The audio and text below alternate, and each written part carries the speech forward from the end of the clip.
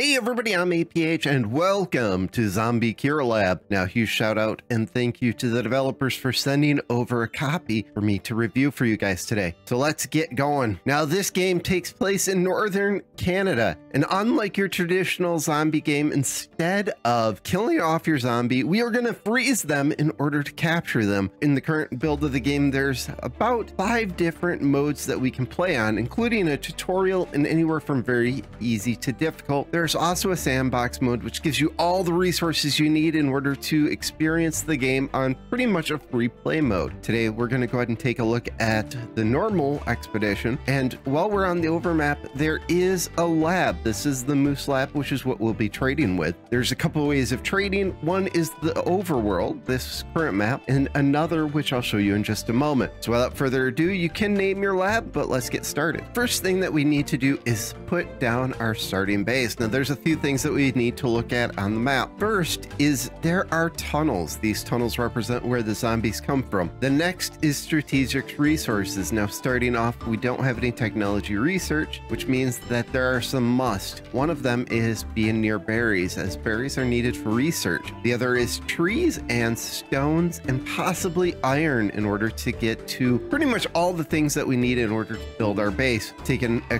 quick look, this area up here had some stones. I believe I had some berries. Yeah, we've got some berries back there. Uh, not a whole lot of clear area to build, which is a little bit of a bummer. I do want a little bit of a clear area. We do have some berries over here and probably close enough. Maybe we go right here and we just do the hike to get the berries. I think that's probably the best thing. The next thing that we need to do once we place down our base is place down a helicopter pad to bring in all of our needed goods. And I'm just going to throw that right there. Now it does take a minute for all the goods to come in and the starting goods is 15 scientists. Our scientists need some things to get started, and the first thing they need is a kitchen, and that is just a place for them to eat at. Now, in the tutorial, it recommends a 10 by 10, and you can really go any size that you need, but you need to keep in mind of a few things. The first is you need to start with a dining table and this is just a place where your people can eat. But once you start capturing your zombies, you need to have a feed pile. As we don't have any zombies at the moment, I don't think we need to worry about that quite yet, but we are going to go ahead and throw a door on there so they can enter there. We're going to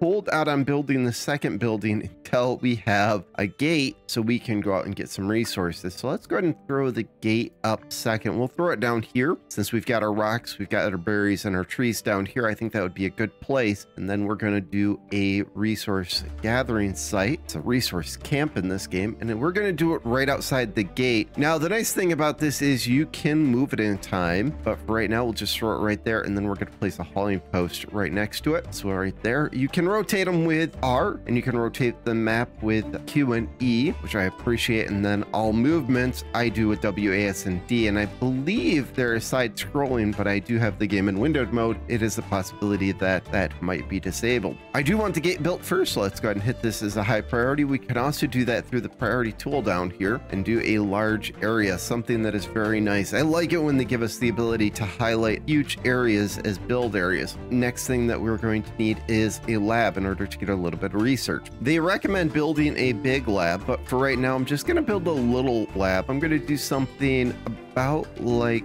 this and all I want to do here is just place a research desk. And so I could place a few of them if I wanted but for right now I just want one and then we'll throw a door down here for them to get in. And then this area right here looks like a really good spot to place a bedroom. And so we'll place another 10 by 10 there and we'll throw another door down here. This we're going to place all of our beds. Unfortunately this game believes in big bunkers and that was all rotated around. Let's go ahead and move that and we'll place it that way. Maybe, maybe not. Let's try this again. Let's just delete that out and we'll try placing that again. So we'll place one there, there, and there. I don't know why it rotated those ones around. I guess what we could do is place these ones the other way if it doesn't want to place the ones the way I wanted them. And then we need a couch to give them a little bit of comfort. Now, this will give us a little bit of room in the future in order to do a little bit of expanding if we need more beds and to place an extra couch if needed. But for right now, this is plenty big. We could probably go a little bit smaller just to save some resources. What I want to do for the moment is I only want the hauling posts just to be picking up. So I'm just going to clear out all their job priorities. And these guys, I just want them cutting. So we'll just do that. And I do not want them getting stone at the moment as wood and berries is the main priority. So that's just going to be, yeah, we'll just clear out everything just to make sure except for wooden berries. That way we can get a little bit of a supply there. Now, as a temporary fix, we can do some trading. So as I said, you can trade via this little icon down here, or by going to the world map via the icon, the little world icon or F4, we can go to the Moose Lab and we can do a little bit of trading. First thing I want is at least a little bit of wood. And as I do so, you can see it went from 180 minutes to 250, adding on a little bit of stone and a little bit of berries. You can see it goes from 180 to 270. So the longer or the bigger the load, the, the longer it takes. And you can see that something, stone, is smaller than things like wooden berries. So we go ahead and hit the send, and it's going to take a little bit of time to get to us. And that's going to give us all the supplies we need to get started. And as all those supplies come in, we should talk about our people. Now, we can designate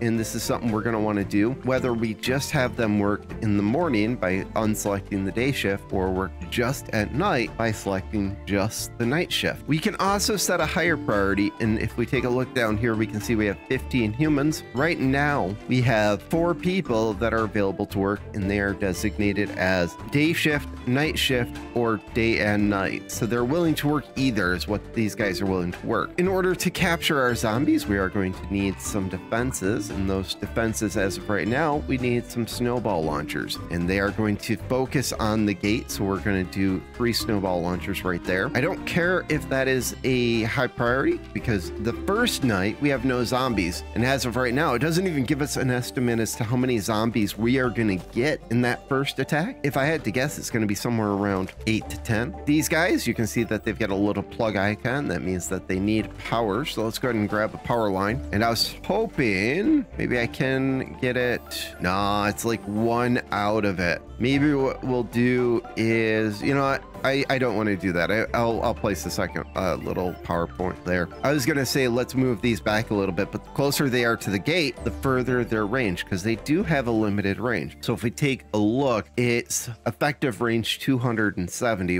which means that eventually we will want to take a look at expanding out to having not only more, but having better ones, which brings us to research. Now, the first research we need to get is under production, which is the ice pack production which is the Bellow Breezer, takes 50 research. But then after that, we may want to look at something like the Snowball Shooter 2, which moves the effective range from 247 to 250, and it does more damage per shot. So the Snowball Shooter 1 does 5, this one does 12, and so it's something that's a little bit better. It looks like the cooldown is the same, but for some reason I felt like it shot faster, and that might just be the fact that it actually doesn't shoot faster, but it just does more damage. And you, you can see it, these currently do not have ice. Now, to get ice out there, we either need to have a transport out there or we need to have these guys work during the day and set them up so they do a little bit of transporting. So for right now, I'm going to go ahead and move their overtime down to usual load. And I do have to do this on all of them. And this is something we're going to do pretty much across the board. And for right now, I'm going to go ahead and tell them to work at day in order to fill those up. I want resources off the bat because we have to beat the zombies. So I'm going to go ahead and move all of my work buildings to 60%, just so they work a little bit longer before they go take their break. The main storage, we probably don't need this many builders, and I do want some builders focused at night and just doing repairs. And then the ones during the day, they can do repairs and building. And I wish there was a way to do a priority saying, I want you to do repairs over building, but I think that like RimWorld, your pawns kind of just do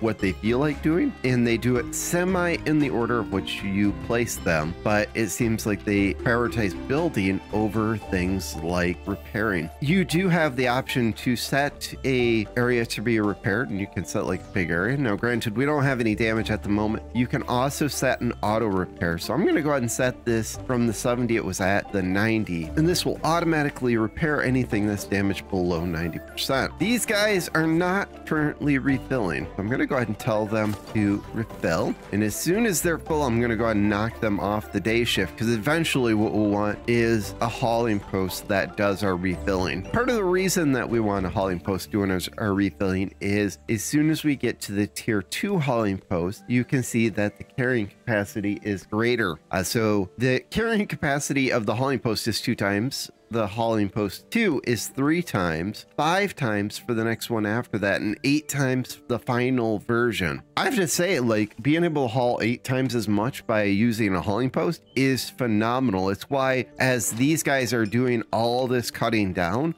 these guys are keeping up with it because they these three are potentially able to do quite a bit more than these guys. As I said, resources are pretty important, so let's go ahead and hire up two more people that are doing the same thing, just harvesting, so that we can try to get at least these berries up and done before the next run, and probably get a little bit more wood as this is pretty much ready. Research is our next thing, so I'm going to go ahead and let time advance a little bit until we have enough research to unlock the bellows. All right, we just hit our 50 research. So we're going to go ahead and unlock the below uh, breezing. And basically, this is a way of turning things into ice by some magic using a bellow. This game very much reminds me of Theme Hospital or maybe even Two Point Hospital back in the day. They do need a little bit of work room to get to them. So I'm going to go ahead and add this like this. You know what? Let's go ahead and turn these around. So we'll have them facing the other direction. Maybe we just need to delete these out and rebuild them the direction I want them face. So we'll do something a little bit like this. That way the exit is pointing out the way that we want it to be. As I'm not sure if they take it to the storage or if they take it directly to there. Now these guys, for the moment, as there's no zombies this night, I'm going to go ahead and tell him to build. And then after tonight, I'm going to go ahead and unselect that again. Now we're going to want to pretty much put people in here all the time. And currently we have one day shift and two night shift people. We are going to set our conditions. I'm going to set this to day shift. I'm going to go ahead and add in a person. I'm going to set this to night shift and I'm going to go ahead and add in a person. That way we have somebody all the time. For these, until I go ahead and remove a person, probably from the resource camp, as we're starting to pull in some good resources, I'm just going to leave these two alone. Primary objective is to get enough ice till we get the next zombie night, which looks like we're going to get six. It's not a big deal. And now we're pretty much set up for the first zombie night. So I'm going to go ahead and let time play out. I'm going to let these guys collect some resources. Then I'll bring you guys back right about zombie time.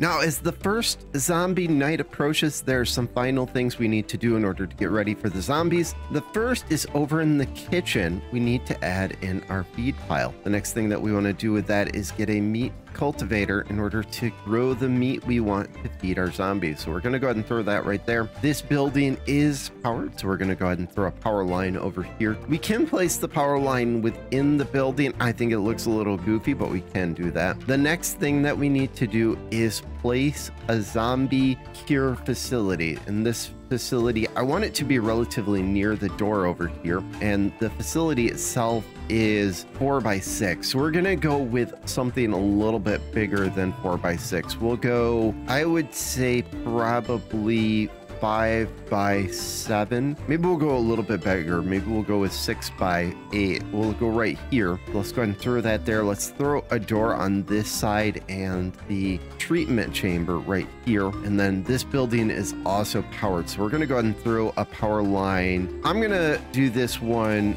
right here and hopefully that reaches far enough. Now I might be able to get rid of this power pole as this one will take up its space. You know what we'll do is we'll move this one over here. That way we don't have two poles there. The next thing is we don't want our people outside during the zombie attack. So I'm going to go ahead and take these guys off night duty so that they come in. And as we're about to hit night, I'm going to hit the lockdown button. This is going to force everybody within the walls So you can see them kind of running scared. Some of them are like, ooh, food. And some of them are thinking of work and other things. But as soon as they get inside, they're like, it's us. We're, we're not zombies. Let's go ahead and lock that gate so nobody goes out. Let's take the lockdown and our zombies are approaching. Now they are approaching from the tunnel closest, which is nice. They are immediately going into our snowball launchers. Now they have no power. That's not good. Uh, we've got to get a priority on. I thought they were going to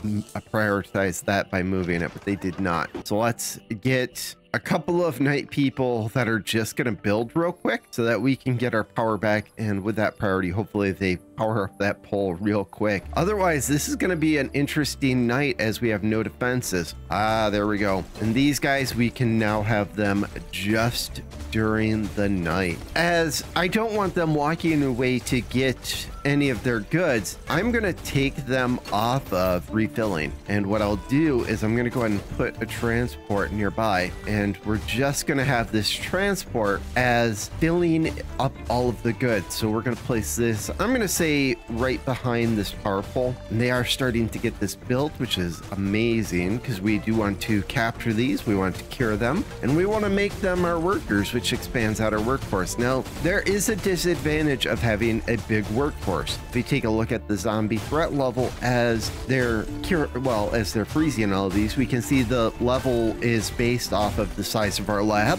So the bigger we build, the more the threat. The amount of humans and the amount of Humbies that we have. Also, you're going to notice that as we're day two, the duration is marked as 0.15 for the threat. So the longer we go, the more we get for mission duration threat level. So in uh, nature, we automatically have a scaling threat. All right, let's go ahead and unlock now that they have froze these zombies. They're just about to finish this, and then we will complete our first objective to treat our first level one Humbie. This guy is ready. In this one, we just want one person. We just want them to work at night, and all I want them to do is refill. And I just want them to refill these snowball launchers. Now, I'm not sure if they need to get out to this resource camp to do so, as I do see occasionally where, yeah, they just brought snowballs out there. As I'm seeing occasionally, they do take things to that instead of to the store pile. Now, this area is pretty clear, and berries are a pretty big concern, so I'm going to go ahead and move this over here, and I'm going to go ahead and move this hauling post with it. So we'll go something like that. Uh, we are day three, and today we just have weak zombies. Now, taking a quick look, looks like we need steel in order to make this happen. So once this resource camp builds, we're going to have to see how much steel we have available. And I want them to focus on getting that steel. And it's looking like this uh, tent has some steel and some ice packs. And this transformer has some different steel as well. And we are lacking in some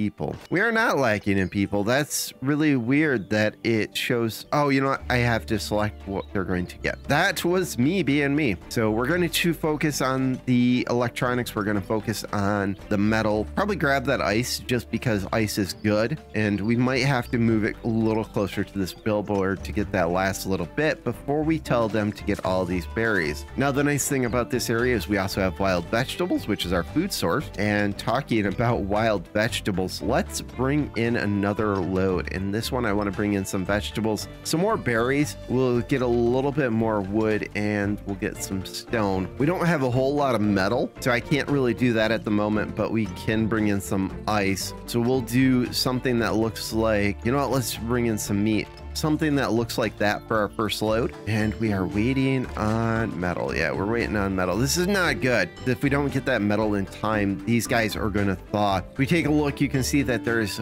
a water kind of condensing around them and slowly they're thawing out. And once they thaw, they become regular zombies again and they kind of run back as it's the middle of the day. Let's move this a little closer to that billboard and we'll go ahead and hit the priority on that so that they move it like right meow. And this camp will still be within range, so it's still good. And then once we get that that billboard all cut down, then we're going to go ahead and shift over to berries and vegetables so we get a little bit better food. A little bit behind the, the eight ball there is I should have looked at the metal and requirements before. And it looks like, yeah, look at that. Our treatment center is ready. I do want these guys working during the day, so I'm going to go ahead and hire up two people during the day. They got to fill it up and the treatment center, I don't really think I have anybody else available to work. So I could go ahead and take a couple people off of the builder. And it looks like they are all night workers, which is a little bit of a bummer. But yeah, look at that. They're starting to haul them in and they put them in this. Oh, and we caught the helicopter right as we were doing it.